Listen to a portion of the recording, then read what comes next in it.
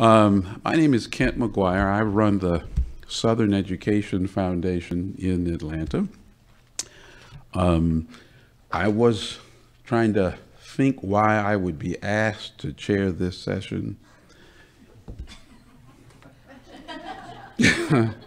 but I have a curious history that may explain it.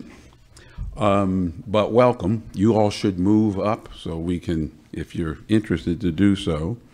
Um, uh, let me just provide a, just a bit of context and then talk about uh, who's with us to take up this issue of um, the Institute of Education Sciences, its, its uh, brief history and its promising future. I like to think of it that way.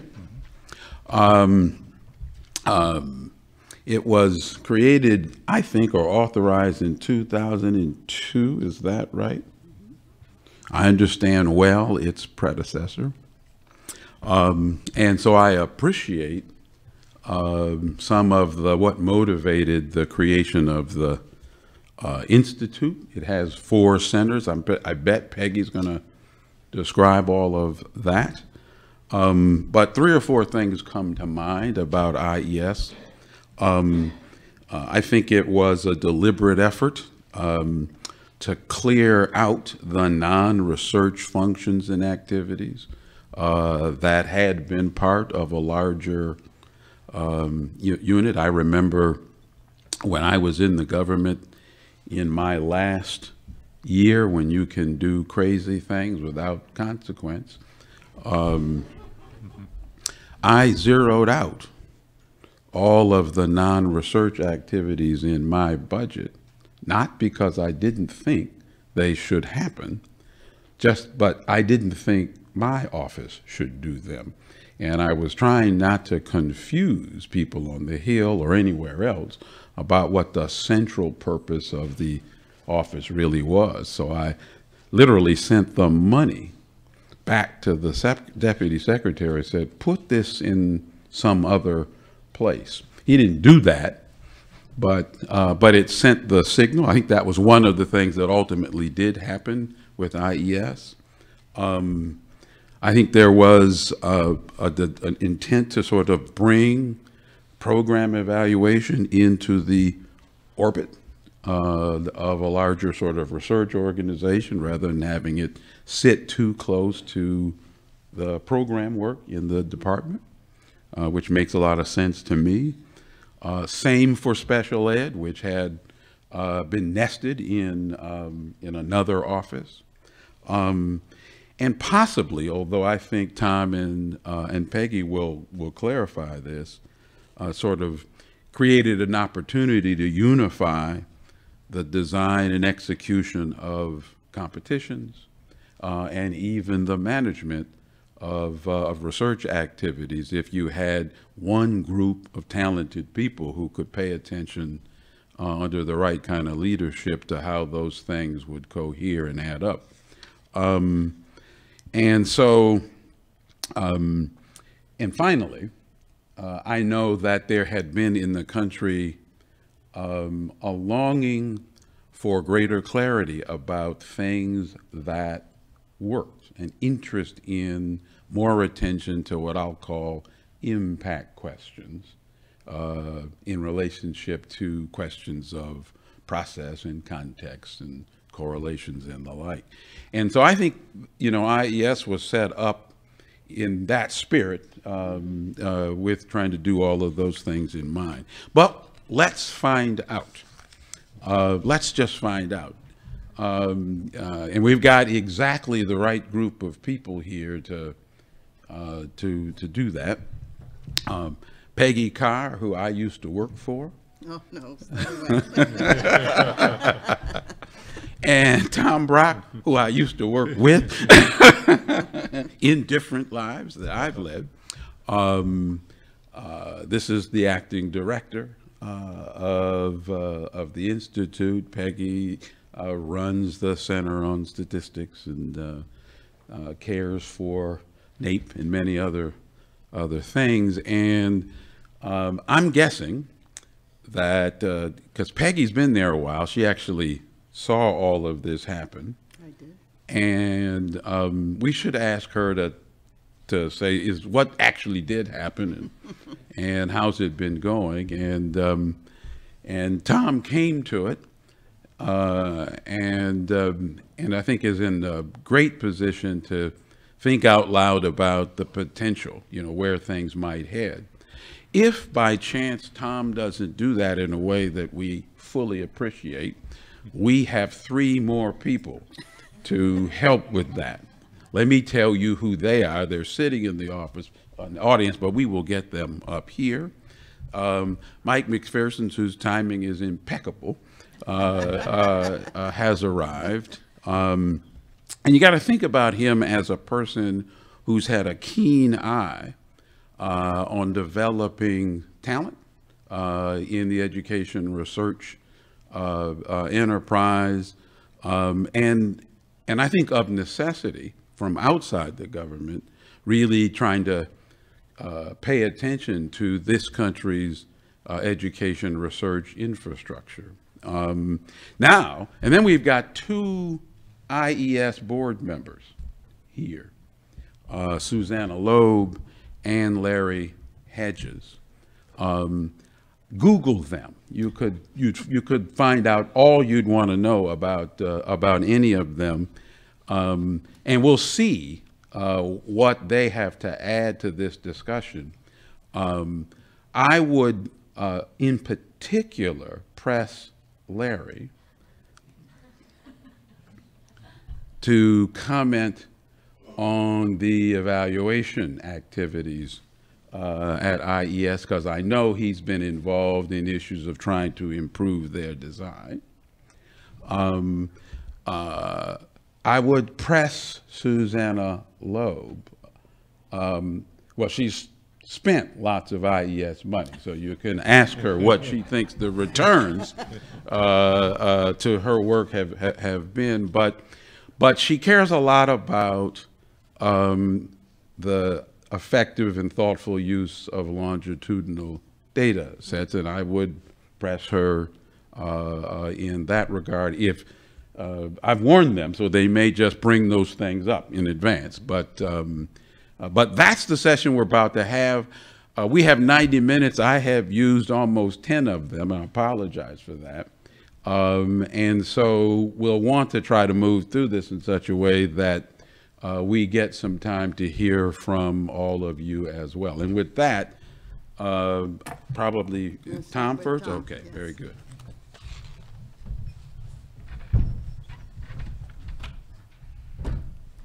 All right, thank you so much, Kent, and uh, thanks to all of you for coming up, uh, showing up this morning, I should say.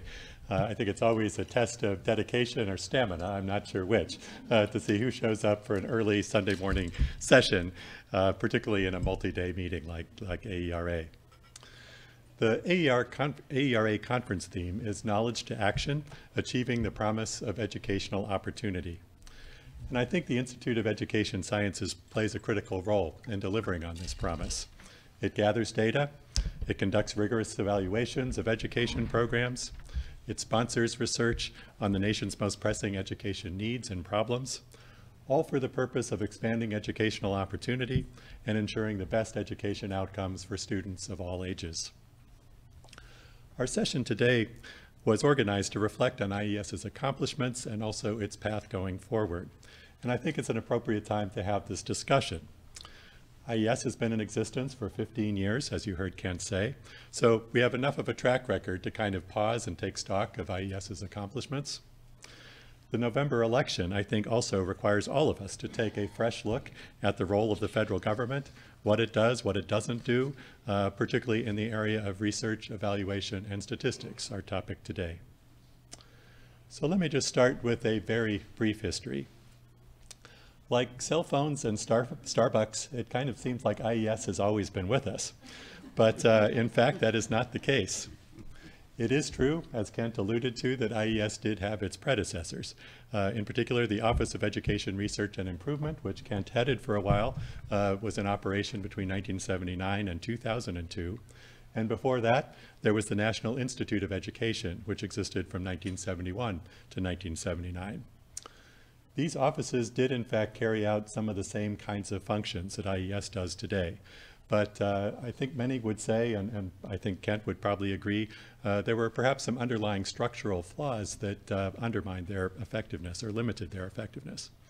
OERI, as you heard Kent mention, uh, was responsible for administering program grants as well as research grants. And the two sometimes were a bit in conflict uh, with each other. In fact, if you look at the spending patterns of OERI, far more resources went out the door in those early years for program purposes than for research purposes. So some say there was not really the strategic focus that was needed in a research agency. It was also generally acknowledged that OERI and its predecessor, uh, the National Institute of Education, did not have a large cadre of scientifically uh, prepared or trained staff, um, and that the agencies as a whole were not keeping up with some of the methodological advances that were occurring in other fields, such as public health and welfare and employment and training. In particular, uh, the growing interest in using randomized control trials and other methods to really understand the causal effects of policies and program interventions. And these offices also reported to the cabinet secretaries responsible for education and thus were subject to potential political bias or influence. A negative evaluation report, for instance, could be suppressed uh, if the secretary felt it did not reflect well on his or her personal priorities uh, or the administration's priorities. So IES, or more properly, the Institute of Education Sciences, really changed all of that. It provided a singular mission which was to provide scientific information on which to ground education practice and policy and share this information in formats that are useful and accessible to educators, parents, policymakers, researchers, and the public. That's a direct quote from the law. The Education Sciences Reform Act also consolidated the research, evaluation, and statistics functions under one roof and called for scientifically trained leadership and staff. And the law really affirmed the nonpartisan nature of education research and gave IES an independent role to publish reports without any approval from the cabinet secretary. Of course, an agency doesn't just form, you know, because of what's written on, on paper in a law. Uh, and I just want to briefly acknowledge uh, the prior leadership of IES. Uh, we really are fortunate to have had several strong leaders who have built the organization and shaped its culture. Russ Whitehurst, uh, as many of you know, was the first director of IES. He was appointed by President Bush. Uh, he is, I think, more responsible than anyone for putting the various programs and procedures of IES into place, including its rigorous peer review process uh, for determining who receives research grants. He recruited well-trained statisticians and evaluators, and I think, as everyone knows, was a very strong advocate for causal inference studies, something for which IES is still very much known. John Easton, uh, the second director, was appointed by President Obama. And John brought also uh, a passion and a commitment to rigorous research, but tried to put equal weight, on the relevance uh, of the research, particularly for education practitioners. John was a champion of the idea of researcher practitioner partnerships, started a grant program by that name at IES, and indeed that philosophy of bringing researchers and practitioners together to identify key problems, to work together on data collection and analysis and interpretation is an idea that in fact is infusing much of what we do. And Ruth Neild, my immediate predecessor, uh, was acting director of IES for 18 months. Uh, she really made progress in better integrating IES within the decision-making structure of the education department. Uh, this sometimes was uh, the downside of being independent. Sometimes we were almost too removed from the key policy discussions that were taking place. She helped make sure IES was at the table uh, for major policy discussions within the department. She also really brought IES into the modern age, particularly with uh, communications and social media, uh, to make sure that our word and our words and our products were getting out. Lastly, I just want to really underscore the important role that the National Board of Education Sciences has played throughout IES's history. Uh, they are responsible for approving IES's priorities, uh, providing feedback to IES on ways that we can continually improve as a research agency. So just a few facts and figures about IES. The Institute currently employs about 180 people. It has an annual budget of $618 million. Um, which sounds like a lot of money probably to you and me. I will note, uh, while it is a lot of money in, in some metrics, uh, it also represents less than 1% of the Department of Education's total budget, just to kind of put things in perspective. As Kent alluded to, uh, it's organized into four centers. And I would say, although we are a small organization with a relatively small budget, at least from a departmental perspective, I think we pack a very big punch. So I'd like to shift now and talk about five critical areas where I think IES makes a uh, important and ongoing difference. First of all, um, IES is responsible for leading both the national and international uh, data collection that's used to assess the academic skills and progress of American students. IES, and more specifically NCES, is really the source that politicians, school officials, parents, teachers, the media go to when they want to understand how U.S. schools and how U.S. students are performing, and they want to understand trends over time. Peggy is going to say a lot more about some of this in a minute, so I don't want to steal her thunder. But let me just uh, very briefly highlight the National Assessment of Education Progress, known as the Nation's Report Card, uh, which is used to uh, to measure proficiency in core subjects like math and reading uh, and science. Uh, you may have also seen the uh, press release uh, and the report that came out last week on student abilities in the arts. So NAEP is really known for assessing student abilities across a number of different subject areas. NCES and IES are also responsible for international assessments, such as the Program for International Student Assessment, or PISA, which allows us to compare the math, science, and literacy skills of 15-year-olds in the U.S. to 15-year-olds all over the world. Uh, and that, too, is really critically important from a policy perspective to get a better indicator for how the U.S. is doing relative to other countries that we view as our competitors. So a second major contribution that IES makes is to conduct the annual grants competitions uh, to support innovative research in education and in special education. The bar charts that you see on the slides here show the number of grants that each center, the National Center for Education Research and the National Center for Special Education Research, have made since they each got started and were funded. I think most of you know these are highly competitive grants. Uh, they are really designed to reward uh, grants to projects that have the strongest research designs, uh, the most capable people leading the projects, and are the, focused on the most significant or critical issues, such as how do we really ensure that every child learns how to read at grade level? How do we meet the education needs of children with autism spectrum disorder or other kinds of disabilities? How do we improve the education, uh, how do we advance rather the academic preparation for college, uh, for students to be ready for college and to succeed in college once they get there, particularly students from low income families or families without a history of college going. These are just some of the kinds of questions that NCER and NCSER funded researchers address every year. The research programs uh, also are very much at the forefront of kind of new fields, cutting edge issues, uh, such as developing and piloting new education technologies to improve teaching and learning in the classroom, uh, using games, for instance, on tablets so that kids don't even know that they're learning while they're engaged in some of these activities. IES has also been at the forefront of the whole field of social and emotional learning, uh, which is talked about widely and generally agreed is important today. But that was not true uh, just a few years ago, for instance. As you can see from the bar charts, uh, if you did some quick math in your head, um, the core education research and special education research programs of the two centers uh, have so far uh, made over a thousand research grants. Um, I just want to note for you that uh, in both centers, uh, the type of grant that is most common uh, is the development and innovation grant, uh, where a lot of the money is actually reserved for developing new curricula or teaching tools, things of that sort. Uh, we really are an incubation lab for new ideas, and that often is not well understood about IES. The second most common uh, area of funding for both centers is the efficacy uh, or effectiveness trial. Uh, I think this is more what IES is known for, but contrary to popular belief, it's not actually the major thing that we fund, either in terms of number of grants or actual dollars going out the door. A third thing uh, that IES does that I think is critically important is to set methodological standards for the field and to provide support for methodological training and advancement.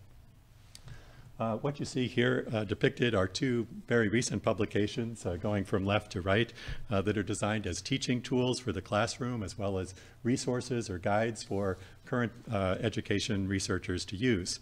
Um, the first one uh, on the left is uh, a new report that was produced on descriptive analysis, and Susanna Loeb was the lead author of that, as you see. Uh, this truly has been an IES bestseller, and again, I think it's caught the field a little bit by surprise because uh, it is about descriptive analysis. It's about mining large data sets to make meaning of those data sets. It's about uh, procedures one can use to understand underlying causal mechanisms behind programs. it is about, in part, better uses of data visualization to present information of a descriptive nature. Uh, and again, it's just an example of, I think, of the wide breadth uh, of IES's methodological work. The second uh, study that you see indicated here is on single case designs, which again has been really path-breaking, I think, particularly in the field of special education, uh, because this is about how to have strong causal inference studies, uh, particularly in cases like special education, where you have uh, children with severe needs, but not a large number of children within a particular sample. So you can't kind of go by the usual randomized control trial that requires very large numbers uh, in order to get a strong impact estimate. All the way on the right then, you see uh, some of the publications of the What Works Clearinghouse. The What Works Clearinghouse, or the WWC, uh, really serves as kind of the consumer reports uh, of the education research community. Uh, what it does uh, through its ongoing reviews is to help policymakers and practitioners and other researchers know how much credence, honestly, to put into a particular evaluation study. Uh, it assesses the design as well as the execution uh, to know whether or not uh, the particular findings from that report are valid.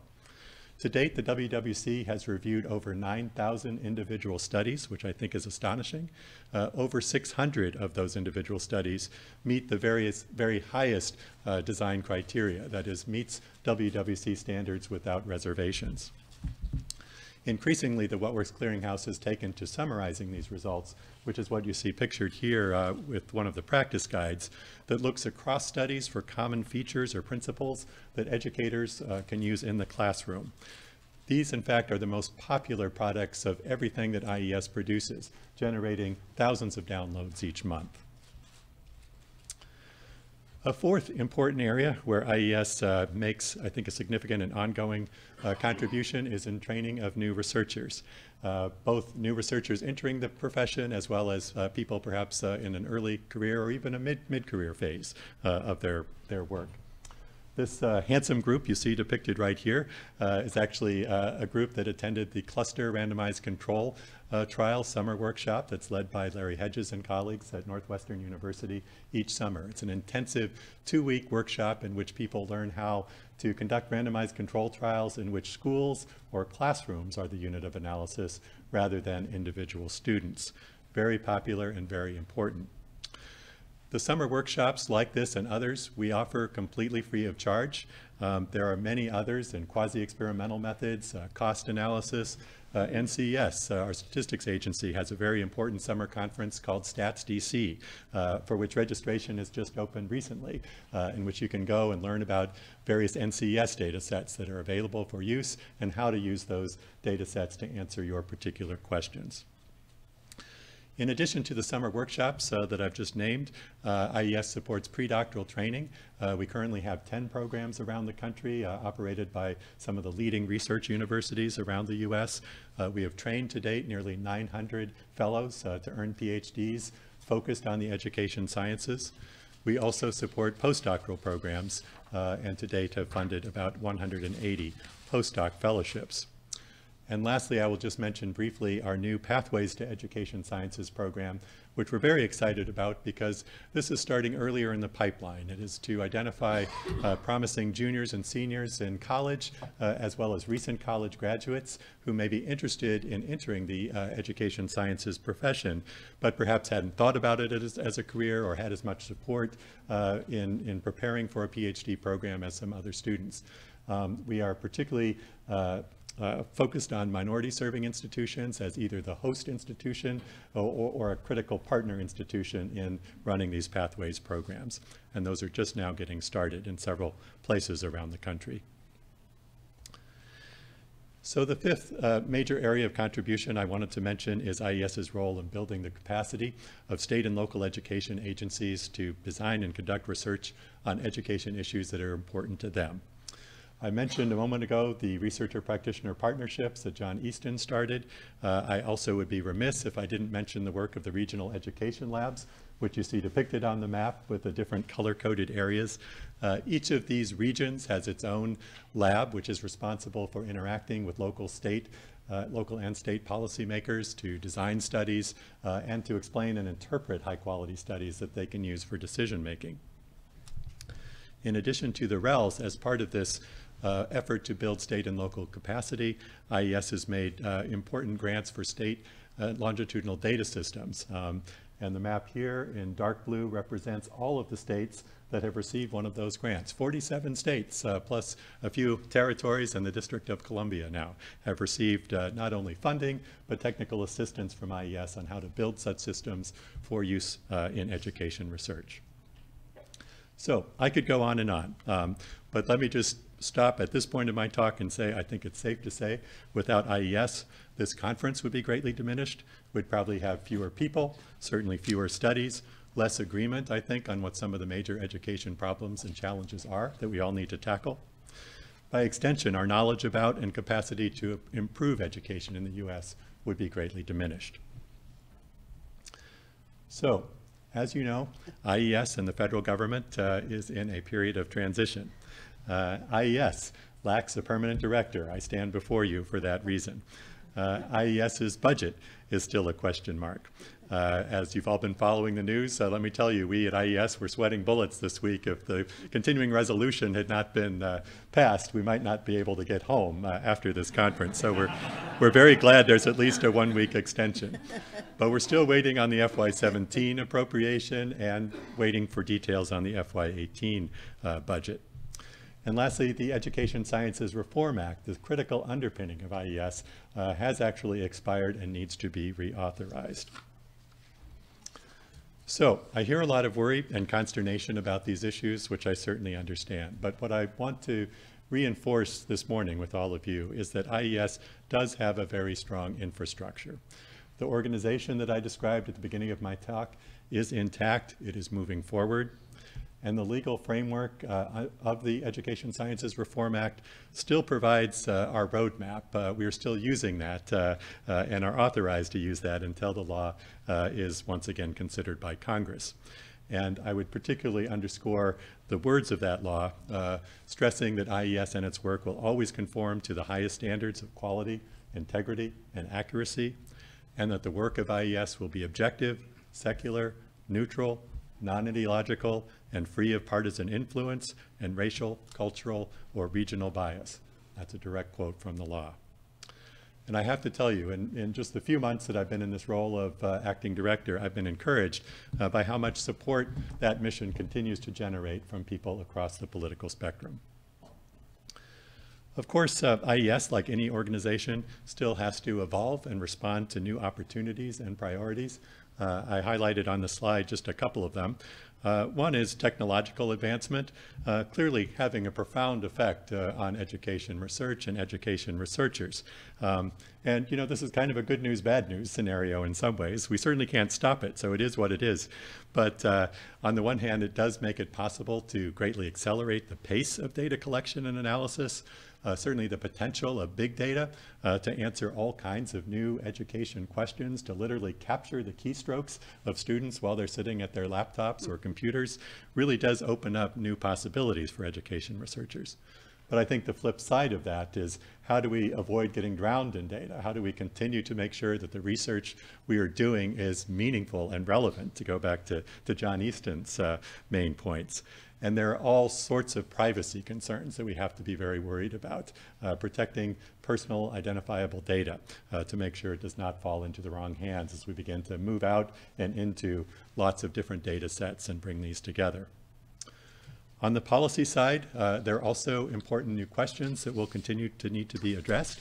Um, the new administration, uh, I think you're all aware, is very focused on school choice as a primary area of interest. And in fact, this is an area where IES has supported a lot of research already, so it's not new to us. Mm -hmm. But we're in a continual position of trying to you know, decide among our limited priorities, where do we need to put more emphasis uh, versus uh, perhaps less emphasis. Some of those core issues like improving reading, improving math skills will always be with us. But as we think about school choice, for instance, how do we move beyond some of the, uh, I guess, summative evaluation work, the up and down studies that have been done on these programs, to dig deeper into various implementation choices and how, if a state or a school district is going to have a choice program, do we really optimize the chances for low income and other disadvantaged students to succeed academically in those environments? Another area where I think IES needs to involve is to, to evolve is to place greater emphasis on funding replication work of intervention studies that provide evidence of positive effects. As I noted at the start of my talk, the What Works Clearinghouse now contains a growing body of intervention studies that show positive effects. But the problem is, most of those studies are still one-offs. They reflect the findings of a single school or a single school district, one small region. And we know, in fact, that it's often difficult to replicate results from any study, even in a similar environment, let alone as you move perhaps to different kinds of contexts. So I think we need to place much more emphasis on the replication work, and along with it, much more emphasis on synthesis and meta-analysis to help policymakers and practitioners make sense of those findings. Finally, IES needs to place increased emphasis on building the capacity of state and local state, and local education agencies to use and conduct their own research. The new education law that Congress passed a year ago December, the Every Student Succeeds Act, really demands this uh, of us. Uh, it, it, envisions a world uh, in which much of the federal role is decentralized to states and school districts. Now, IES had already been moving a little bit in this direction uh, with the aforementioned uh, researcher practitioner partnerships, the research alliances and the RELs, uh, all of that. But I think we have to continue to move in that direction. We also have to do a much better job of communicating research. Uh, I think it is still the case, and this is something that I think we all take responsibility for.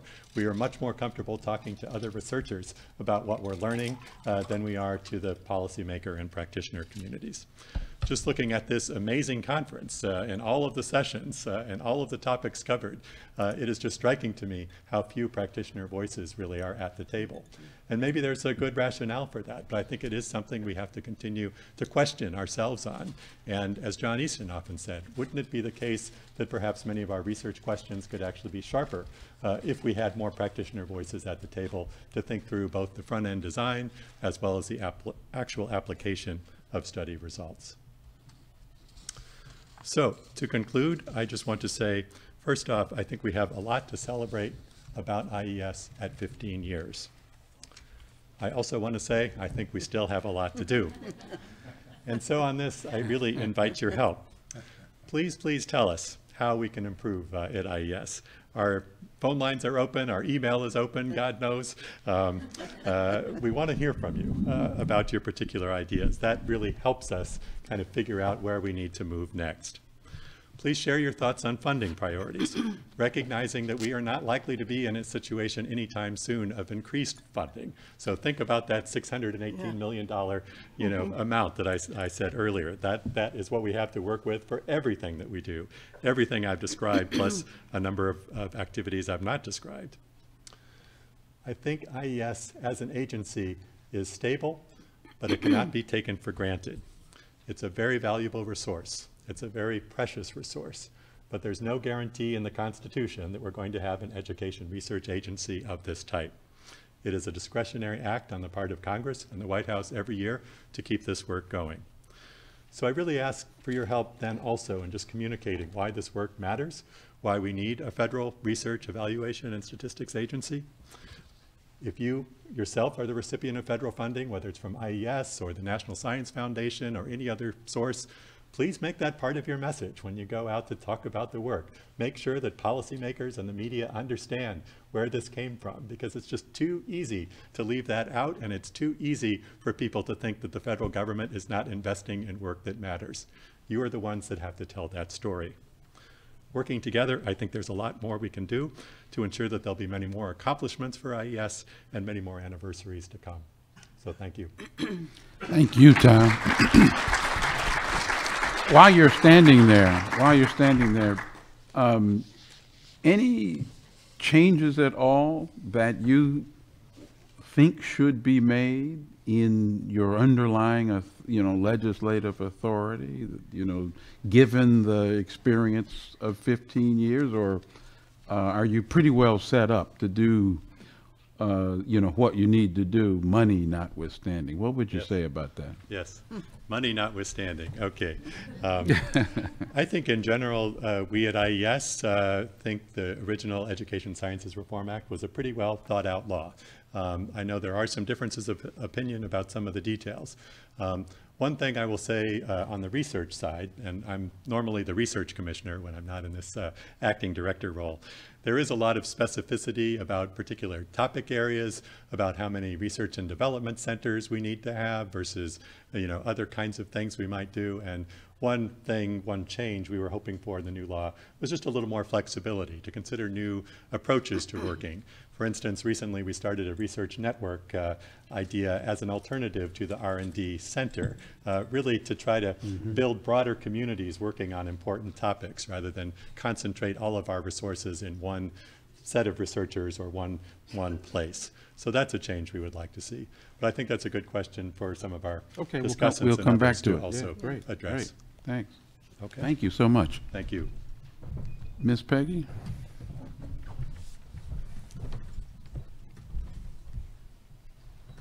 I want to first thank Tom for a wonderful talk. Even I was moved by that, and I've been here well over a couple of decades now, and I, I can say there's, there's a lot um, going on, and you articulated it very well. I was even moved by those pictures of the former directors, and it was sort of nostalgic because I've been here through all of them, and to be here with Kent, who I have to say, this is a perfect opportunity to say thank you for your service. And you did, uh, you were very impactful um, during the time uh, you were there.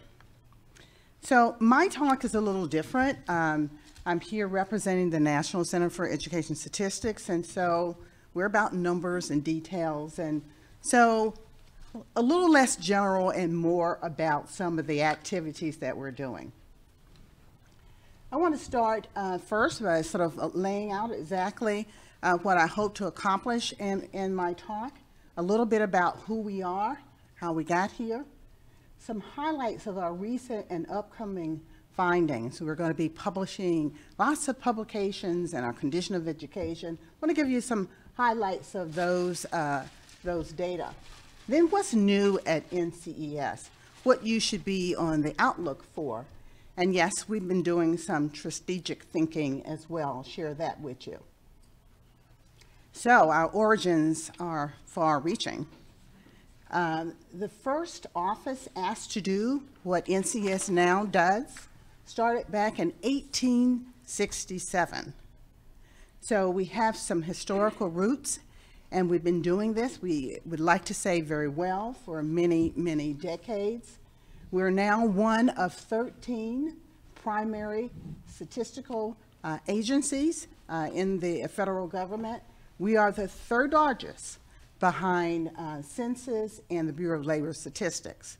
But in terms of funding, well, we're about eight, about 360 million a year. We only have like 112, maybe less uh, FTE. And so we do a lot uh, with a few uh, employees. Our, our goal, our mandate is to collect, collate, and analyze and disseminate data on the condition of education in this country, and also put it in context of the international uh, education community. Tom laid that out very nicely. So this is sort of the big picture of our portfolio. You can think about it in a couple ways. We uh, categorize our data collections into sample surveys and uh, longitudinal studies, assessments, uh, both national and international, and administrative data collections. You can also think about the types of data we collect at various stages, from birth, early childhood, to adulthood, late adulthood. The early childhood includes the popular ECLSK, Early Childhood Longitudinal, excuse me, Birth and kindergarten uh, series. And then, of course, there's NAEP. You've heard about NAEP already uh, this morning. And the international uh, assessments are also collected. The national part of the international assessments are our responsibility, TIMSS, PISA, PIRLS, PIAAC, you've heard of them as well. The most popular one under the post-secondary would be IPEDS, the Integrated Post-Secondary uh, uh, Education Data Systems. And of course, uh, as I indicated, we have adult uh, data collection, and PIAAC is basically a functional literacy uh, assessment. Well, um, the ones in red, I want to tell you a little bit more about, and I want to use as a context uh, the condition of education. We uh, release annual reports to Congress every year. This condition of education uh, is uh, uh, released uh, to Congress on June 1st of every year, and we never miss the date. I should also point out that the Digest of Education just celebrated its 50th edition. Again, an indication that we've been around for a while. So a little bit about what you're going to see in those publications, the condition of education in particular, and the uh, digest. The condition of education has, excuse me, 42 uh, indicators. And what I want to show you next are some of the highlights of things that you're going to see in those indicators. The K-12 expenditures for uh, uh, the schools in this country per pupil uh, has gone up um, between 03 and 14 until we got to around 09 and 12 where we saw a decline. But what you'll see in our release uh, data and the condition of ed is that it's now on its way back up. Here you, uh, you see who is attending our high poverty schools in this country.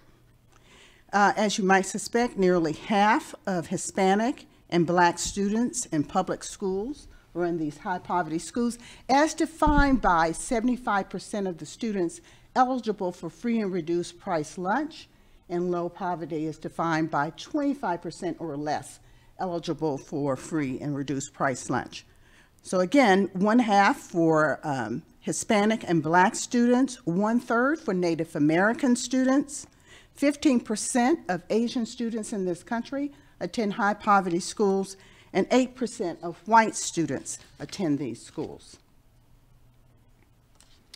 Well, our high school graduation rates, though, are on the rise. Uh, in our latest release for 2015, the high school graduation rate was 82, uh, 83.2. I give you uh, a little insight, some secrets. We used to give Arne Duncan a, a uh, shirt that had the, uh, the number on it, but no one knew what was on the shirt, and, but him, he knew that. He was always very proud of that because it went up the entire time he was there. What you'll see here also are the racial ethnic uh, trends, and you can see it's ticking up for all of the groups.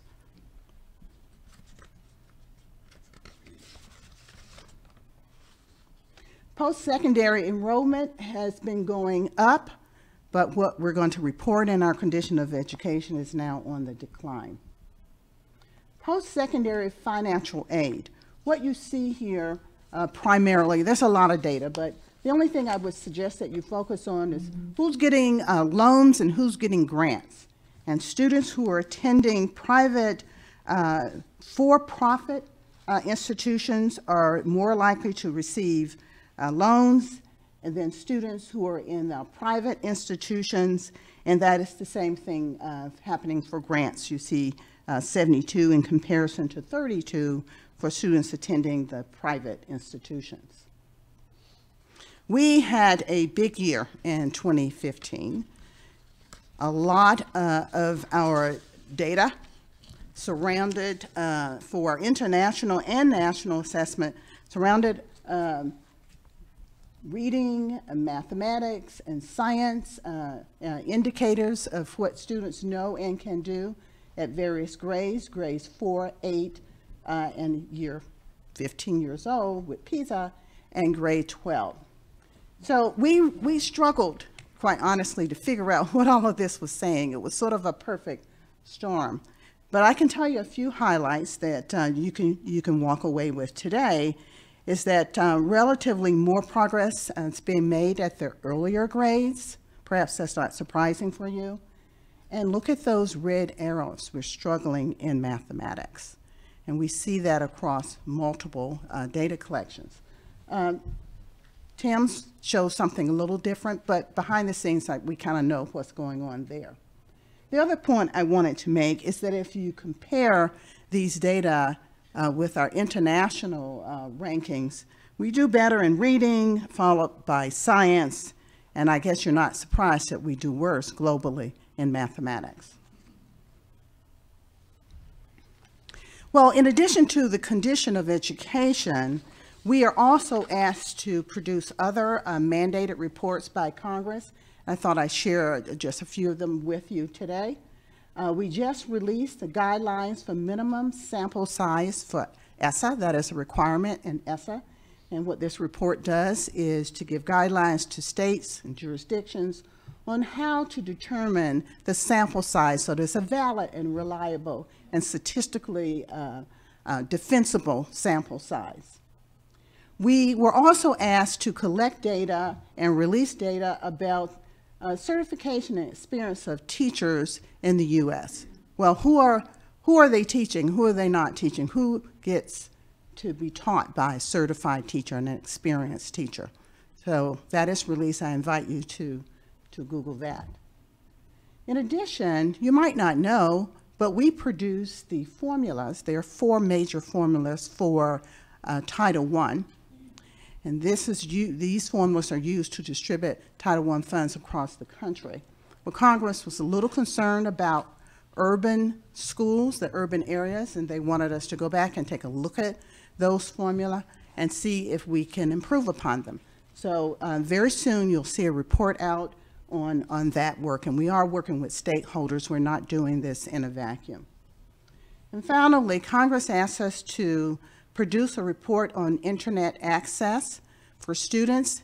They're concerned about uh, teachers uh, not giving out homework that requires uh, internet access at home or the assignments that they, they're actually doing in school, are they being hampered by the lack of uh, access in school and again uh, uh, at home or in the community.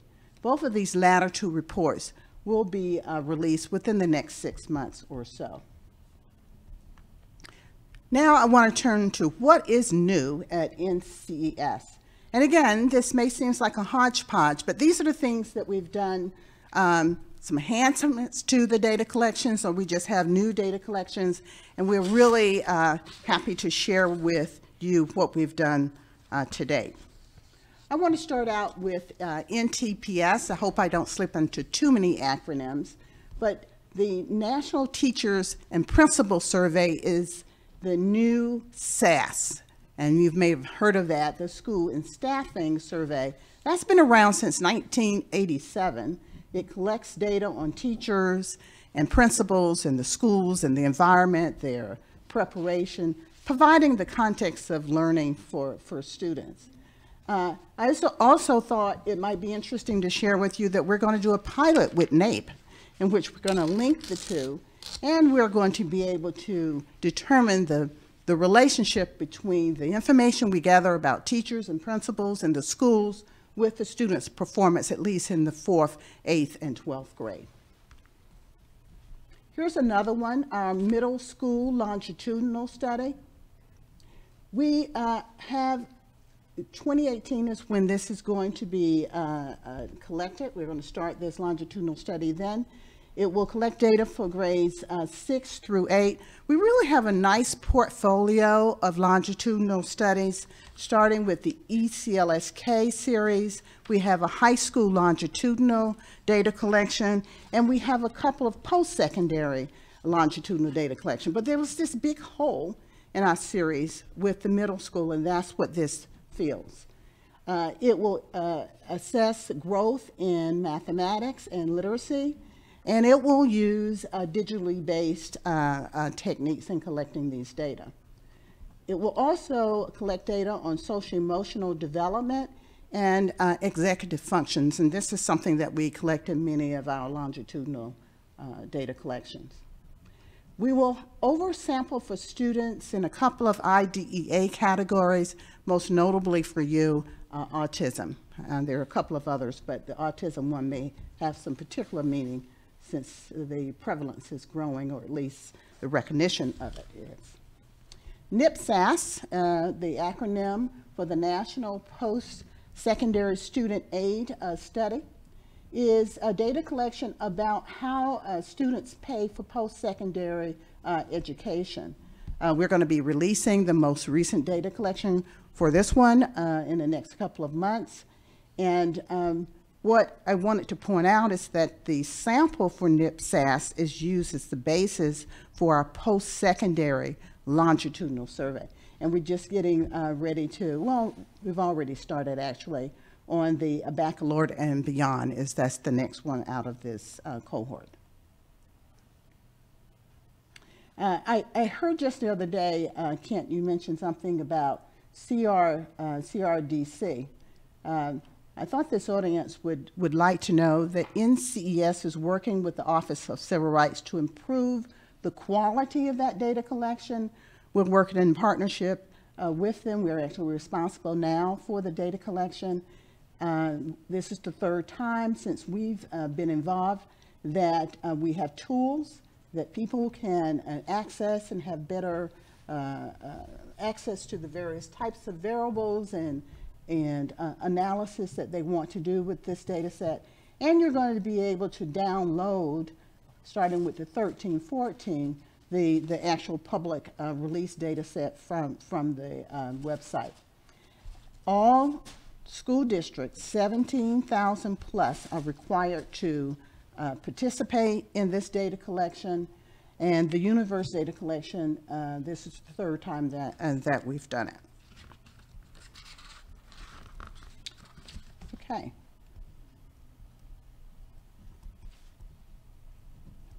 A little technical difficulty here. All right. At the uh, base of our data collections, we have the CCD. It is the basis for our uh, sampling frame. So this is very, very important. Uh, and uh, in fact, uh, several of the studies that I, I uh, saw today and in, in the uh, list of the program use the CCD. So I know that it's important to our stakeholders. it is also the collection that is used to give the profile of financial and non-financial data for all public schools and school districts and for the states. And we're going to be uh, releasing these various files separately not waiting until they're all done. So for those of you who use CCD, this is a big thing. IPEDS, as I mentioned earlier, is our post-secondary uh, data collection. There are 12 surveys here. And the big thing here is that we're putting on our website the ability to download the data files. This is also a big thing. Maybe you don't get excited about these sort of things, but this is sort of a big deal for us, and we wanted to tell you about that. now, um, I want to say a little bit about um, what we're going to be doing with our digitally based assessments. The digitally based assessments, uh, as Tom pointed out, is where we're moving with all of our national and international assessments. These digitally based assessments allow us to improve measurement and accuracy. They allow us to measure constructs better than we've measured before or to measure new constructs that we have not been able to measure. It's a better alignment of how students are taught and how students learn. It's more cost efficient. Scoring is more efficient administration and the design of our assessments will be more efficient with this approach. And the data collection allows for more engaging, authentic, and accessible uh, access to uh, our data. We use universal design as well as accommodations. And I'd like to point out we're going to be adding a couple of uh, um, uh, studies to this cadre uh, on the international side, the International Computer and Information Literacy Study and the International Early Learning Study. I'll tell you more about those during question and answer if you want to know more. But all of these studies will be collecting digital footprints of how students will interact with these assessments. And this is an example of what a digital footprint might look like. What you have here are eight students. That's on the y-axis. And on the x-axis, you have the time they spent with the passage and the questions they were asked to respond to for the passage. The color is also important because the color tells you how the student moved through the passage and then read the questions about the passage. Did, did they do this in a methodical, sequential way? And you can determine that by the color. Blue means that they were engaging with the passage. The green and the brown means that they were then starting to answer the questions. So, what can we learn from this? At the bottom, you see that first, the first student, well, it doesn't look like that student even read the passage, let alone answered most of the questions. So it's the second student. But the ones at the top did what we think is a pretty good job. They read the passage, page after page, and then started doing the work of answering the questions. Well, maybe this isn't so exciting to you, but maybe this is. Hmm. What this shows you are students who move through a passage, in this case also a poem, that's the sort of pink part. And the students on the left are the students in the top 25th percentile, and the students at the bottom are the students in the bottom, bottom distribution of the ability. And the first thing you note is that the students on the left are doing the job. They're reading the passage and the poem, and then they're going about the work of answering the questions. But the students on the right, not so much. This is where we're going with these digitally based assessments, and not just in NAEP, these examples are from NAEP, but from, for all of those international studies that Tom and I have been talking with you about today. So lastly, I want to talk a, a little bit about moving forward. Back in uh, 1986, the National Academy of, uh, of, of Science did an evaluation of NCES, and uh, it was called Creating a Center for Education Statistics, A Time for Action. Very suitable title since what they said to us is if you don't get your act together, you should close your doors. And there were some very strong recommendations. And so when I started uh, acting in this position, one of the first things I wanted to know was how are we doing today? So we gather a, a NIST a panel um, from the National Institute for Statistical Services, and they pulled together a very uh, talented, independent uh, panel of academics, government, and public sector uh, experts in the field of statistics and evaluation, and they gave us a big thumbs up. They said that we're doing fine with the recommendations uh, identified out of the 1986 and gave us some suggestions about how to move forward. The three recommendations I wanted to share with you today is they thought that we should be very clear about our vision and be very agile about making decisions about what data we should continue to collect, when and why, and when should we start and stop data collections. Good advice. In addition, they thought that we should think about our stakeholders in a broader sense you know, it's not just the researchers. We like researchers, but it's not just the researchers anymore. We should think about uh, different types of audiences, and they are our stakeholders too. So, for example, we added to our portfolio of 40 some odd uh, stakeholder panels that we work with a teachers panel. We had been talking to everyone but the teachers, imagine that. Mm -hmm. So um, that's uh, an example. And they thought that we should be more innovative, and I've shown you a, a bit of that. But I can't uh, help but say that we're doing some other things um, not shown here to move us forward, such as innovative tasks. We're looking at virtual worlds. We're looking at uh, scenario-based tasks and things of that sort to move us forward. Um, I want to thank you uh, for your attention and for uh, indulging with me on the details part of IES, but I'll entertain any general questions if, if you have an interest. Thank you. Peggy, thank you too very much.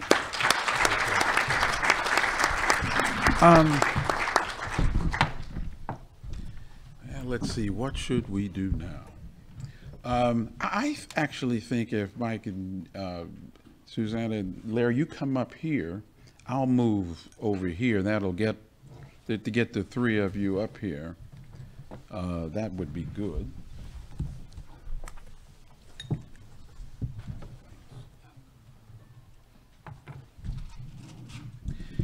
And While that's happening, um, if there's a, an immediate question or comment to what you heard, uh, Steve Dick, I work at the Picard Center, a research center at the University of Louisiana Lafayette. We do a lot of evaluation research, particularly for the state of Louisiana. But one of the things that we're trying to bring to Louisiana is a federal statistical research data center. Uh, Years ago, we had the NAEP data, uh, at our center. And Yes, that's right. and the restrictions on that data uh, are rather high and and understandably high. But I was wondering if either of you were considering joining the Federal Statistical Research Data Center as a means of distributing data to qualified researchers. Well, you know, the uh, Census Bureau, who heads up uh, that initiative, they- in fact, they're one of the 13 federal statistical agencies that I meet with uh, once a month. They're constantly uh, trying to get the rest of us to, to join in. But there, there are a lot of uh, um, peculiar requirements that they have um, that we, we need to work through. So only a few of the agencies have, have joined. It's, that's, that's not a no, uh, but we've got to work out the um, nuances. And, you know, our cen, uh, most of the federal statistical research data centers are more about economic data. But because our center is more about Right. social science and education data, it'd be a big help to the type of researchers that we would service. Well, the, what I can say to you is that the Ryan Commission is trying to help us work through the, uh, the federal laws that, uh, that are barriers and us trying to merge these data sets. We don't collect laws under the same privacy and confidentiality requirements, and that's part of the issue. But we're looking into it. Thank you. Let's see if in about the next 15 minutes, that puts some pressure on our discussants, um, if we can get any comments or perspectives on what, I thought we got a very good overview, both of the Institute, broadly speaking, uh, and some of the things that it's um, thinking about doing and planning to do. Um, I was really intrigued with um, Peggy's uh, review. Uh, you know, this quick snapshot of what some of the surveys are telling us is sort of going on, and and then all the underlying work uh, to strengthen and improve the kind of surveys that uh, on which those reports are based. So I'm just curious, you know, Larry, uh, Susanna, uh, Michael. Um, I don't care who goes. Let's let Susanna go first. Right. Don't you, don't you think? don't- Because I'm, like you said, I didn't know I was on this panel Right, until that's- this morning. fresh ideas. I- I- fresh- Fresh ideas. That, that's right. Okay. So, I mean, I don't think, I couldn't have done nearly as good a job of, of describing to you what, uh, how great IES is and in what it's doing than Tom and Peggy just did. So, uh, I just wanted to mention two things, uh, that I think we, we have a tendency to do that, that may be a barrier to, to people realizing all the stuff that's going on at IES. And the first is that if you've ever applied to IES, if you're like me, you've also been rejected at IES. And um, so my last one I submitted, I thought it was the best proposal I ever made. It didn't even make it to the panel to get reviewed. It got, you know, it got rejected before it got further. And it's so easy to then say, what a terrible organization organization. How can this possibly, you know, everything they do must uh, be be not good because they didn't like what I did, and um, I just want to say that I do have that uh, reaction, which I think everybody does.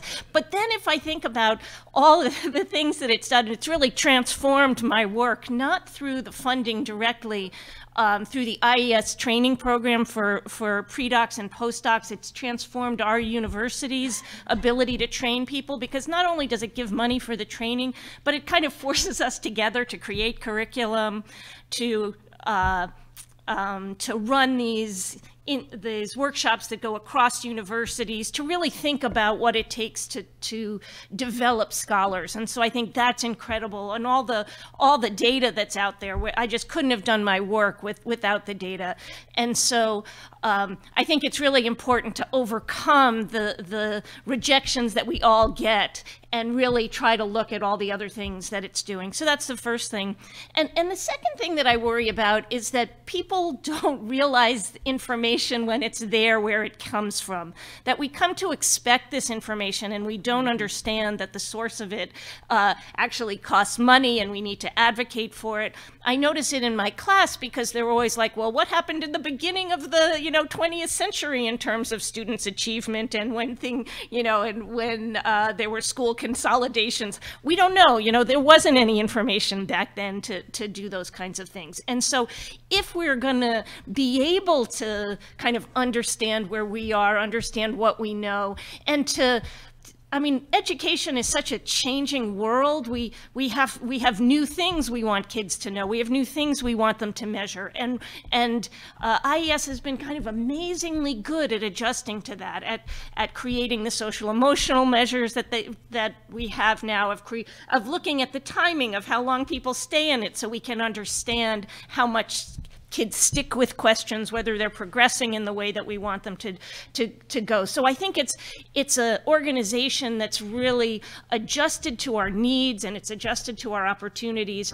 And um, both, I, I uh, encourage you to overcome both of the kind of natural inclinations to either say, well, it can't be good because they didn't like my thing, or just not notice where the information that, that we all use comes from. Because I think both of those two things um, uh, can keep us from describing what IES does and all the, the things that they really do. I know that I haven't uh, made as much of an effort as I should to kind of express this. I want to get Tom's uh, talk in particular and kind of show that to the people that I work with to, because it gives this overview that I don't think we have. So um, th that is my, those are my thoughts on it. I thought that really well done for someone who hadn't thought about it until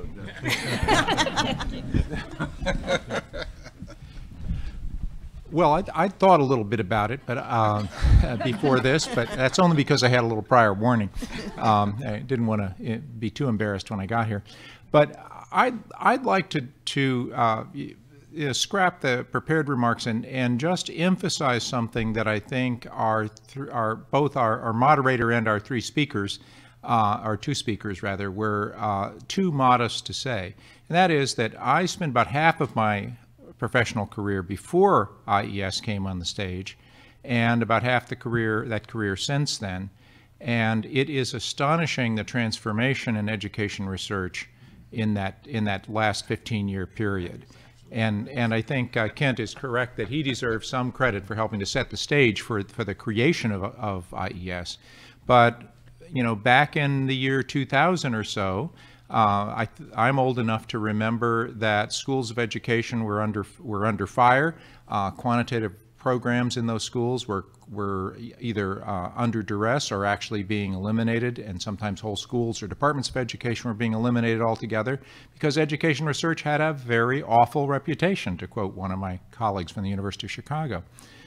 Uh, almost nobody had training in, in, almost no school of education was providing training in, in advanced research methodologies like like uh, randomized trials or or the high-end quasi experiments um, today um, every reputable school of education is doing those things.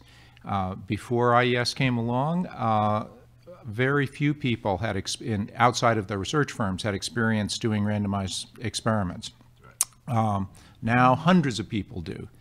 Uh, and I emphasize that not because randomized experiments are the only important research methodology, but they are just an example of one strong research methodology that uh, there was really very little experience with in the education research community. And the analysis of complex quasi-experiments is even harder, and there was even less of that experience. And IES, IES created this, the, the modern educational research environment that, that many of us take for granted now.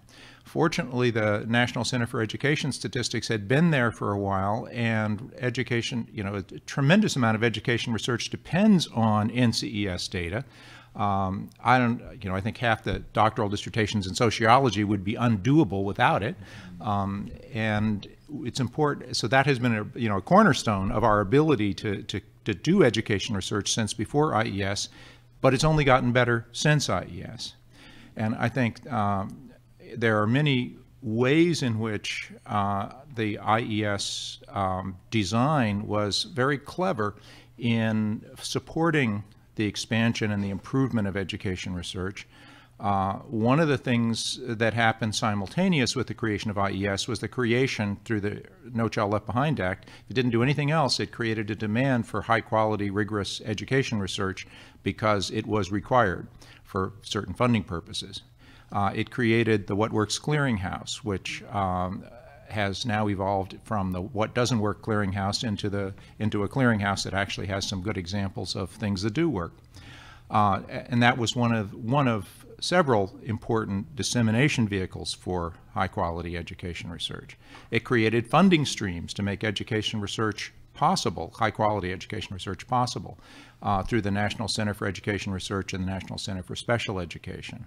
They create they uh, created demand for research, funding for research, and then they worked on capacity to carry to, to do that research. The postdoctoral training programs, the summer uh, research training institutes for uh, uh established researchers, and the postdoctoral training programs all help to build the capacity that now exists in, in the country for doing high quality uh, education research. And I, I think together these have had a completely transformative effect on education research as, as I've experienced, experienced it from the first half of my career to the second half of my career. And I guess I would like to just urge all of us to take a moment and to recognize that this happened through the efforts of dedicated professionals who are making the sacrifice of being in public service to benefit all of us. And um, I think that our world would not be where it is today without IES and without the dedicated professionals who chose to go into public service in order to make the IES we have today possible. So I'm going to suggest we give a, a, round of applause to those folks and uh, to all the others who aren't here who made, um, who made the modern sort of world of education research that we uh, enjoy possible. So.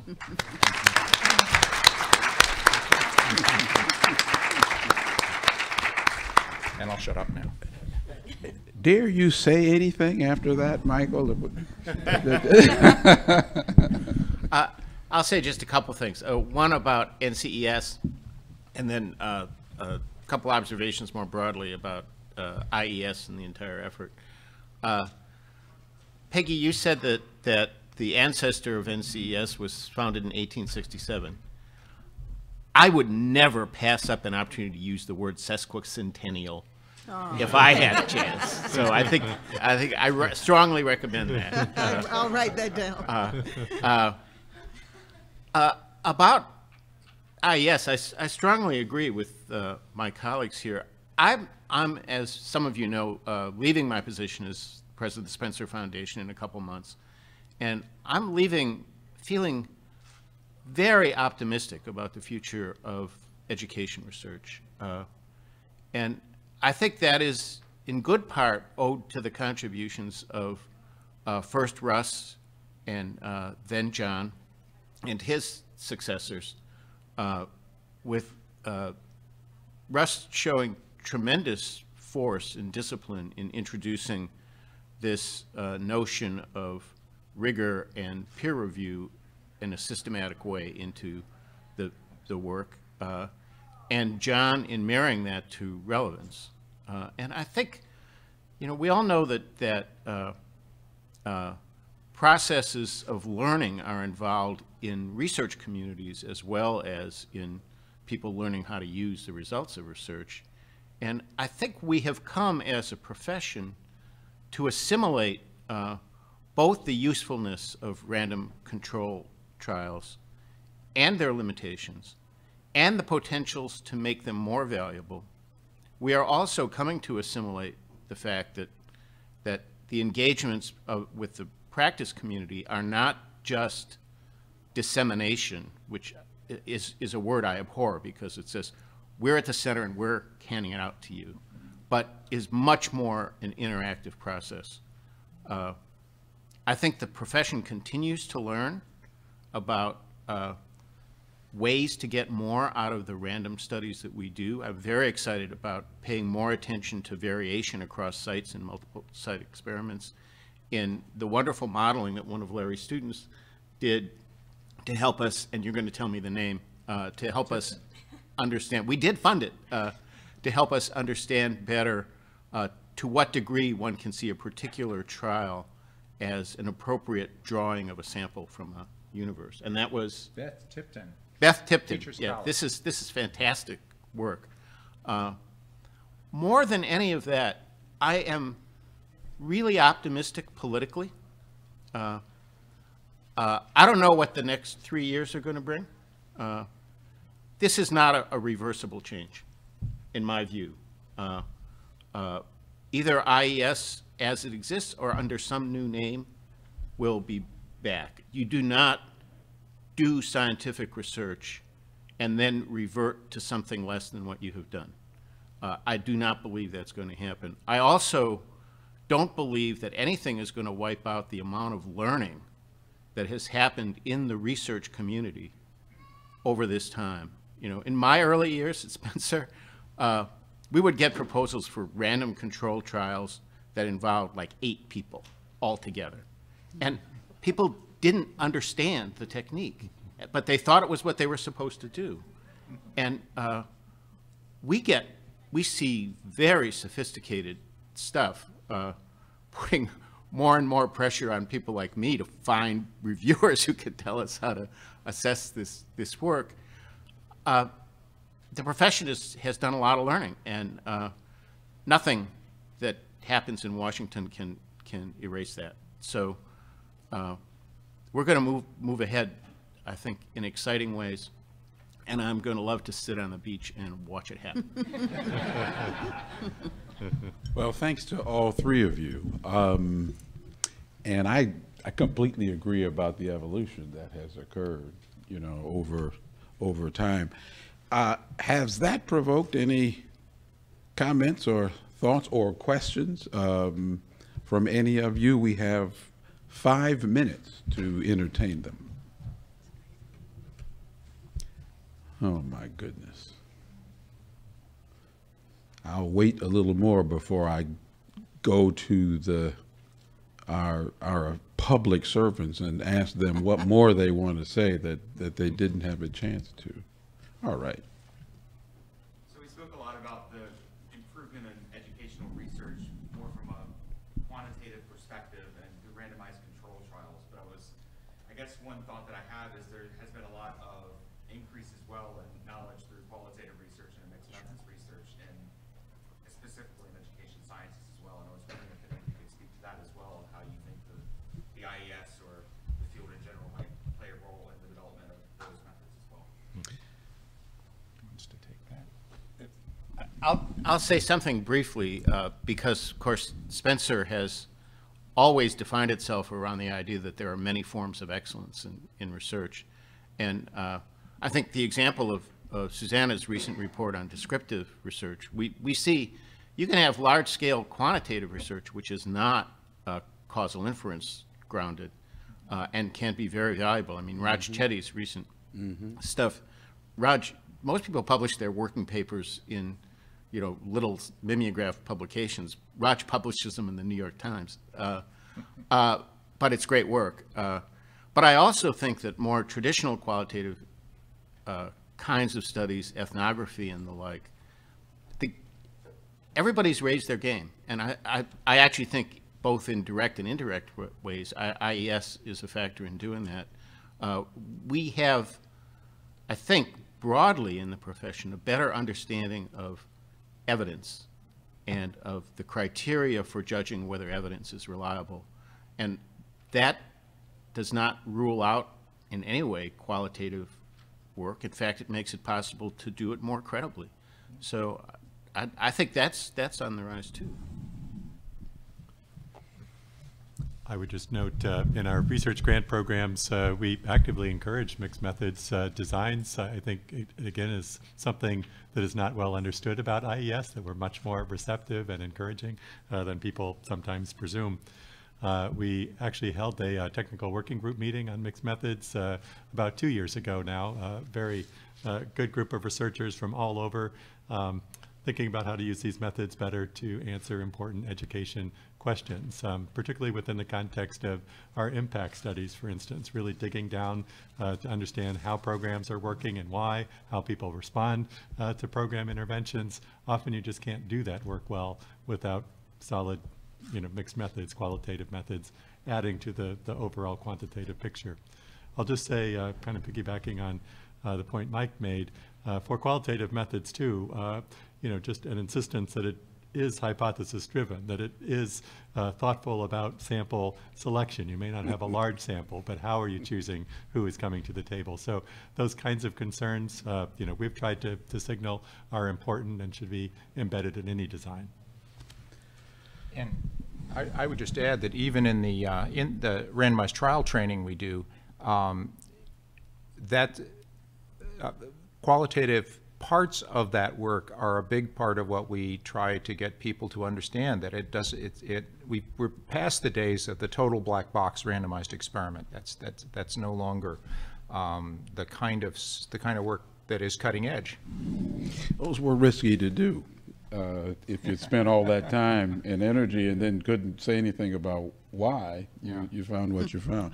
Um, Peggy, um, I rip, appreciated Tom's uh, comments and what we heard here about um, uh, the reason to, to be strong advocates for uh, IES, what it has accomplished and what it's capable of doing.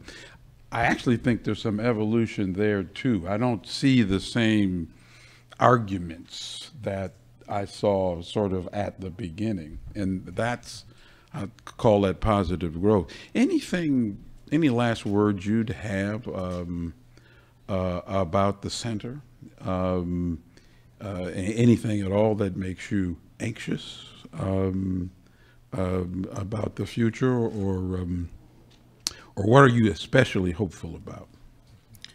Well, you know, um, nothing profound, I don't think. But I do want to comment on this last uh, line of narrative because I don't think people think about a- center like the National Center of Education Statistics doing mixed methods, but we do, and experimental designs. And I, I just want to point out that we're not um, just a qualitative, a quantitative uh, shop. So, for example, uh, in collecting our assessment data, we use ECD, Evidence Centered Design by Mislevy, which has a really strong qualitative uh, component to it where cognitive labs and think alouds really help guide the development of uh, assessment uh, uh, items.